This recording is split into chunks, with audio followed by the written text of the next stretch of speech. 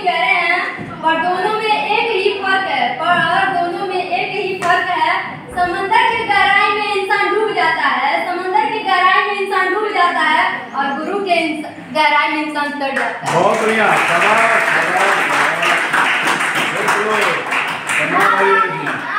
कब कोई ताला टूट जाए ना जाने कब कोई ताला टूट जाए ना जाने कब आँख से आँसू छूट जाए। उस पर साथ भी है इसलिए ना जाने कब आपके दांत टूट जाए